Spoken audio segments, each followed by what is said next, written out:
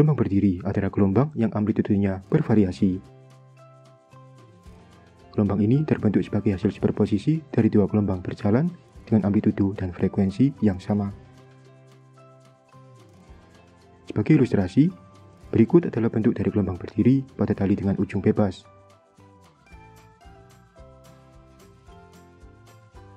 Anggap saja pada tali tersebut terdapat beberapa titik. Titik ini bergerak naik turun secara vertikal. Namun, setiap titik dapat mencapai simpangan maksimum yang berbeda-beda. Inilah dimaksud dengan amplitudo bervariasi. Secara matematis, simpangan dari titik dapat dihitung melalui persamaan Y sama dengan 2 A cos KX sin omega T. Nah, nilai 2 A cos KX ini menentukan besarnya simpangan maksimum yang dapat dicapai oleh titik tertentu. Secara visual, pada gelombang berdiri terdapat sejumlah simpul dan perut. Simpul adalah tempat kedudukan titik yang mempunyai amplitudo minimal. Simpul pertama terletak seperempat lambda dari ujung bebas. Simpul kedua terletak 3 per 4 lambda dari ujung bebas. Simpul ketiga terletak 5 per 4 lambda dari ujung bebas dan seterusnya.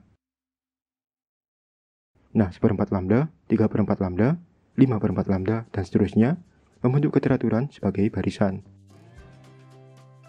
Secara matematis, X sama dengan 2N-1 dikali seperempat lambda, di mana X merupakan jarak simpul dari ujung bebas,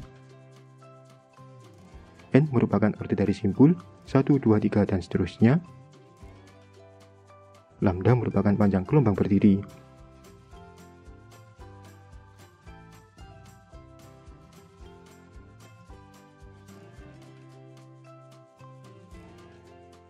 sedangkan perut merupakan tempat kedudukan titik-titik yang mempunyai amplitudo maksimum.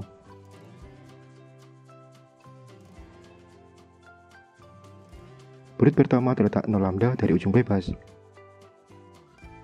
Perut kedua terletak setengah lambda dari ujung bebas. Perut ketiga terletak lambda dari ujung bebas. Dan seterusnya. Nah, 0 per 2 lambda, setengah lambda, 2 per 2 lambda, dan seterusnya membentuk keteraturan sebagai barisan.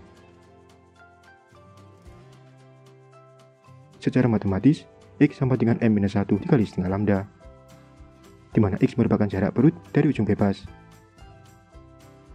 M merupakan order dari perut, 1, 2, 3, dan seterusnya. Lambda merupakan panjang gelombang berdiri. Sebagai kesimpulan, Gelombang berdiri pada ujung bebas memiliki simpangan.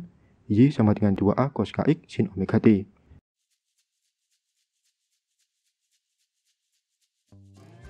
Lokasi simpul X sama dengan 2N-1 dikali seperempat lambda.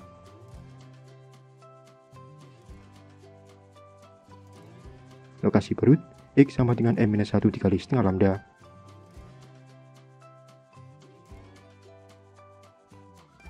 Yap, semoga tutorial ini dapat memberikan gambaran mengenai gelombang berdiri pada ujung bebas. Jangan lupa untuk like, share, dan subscribe.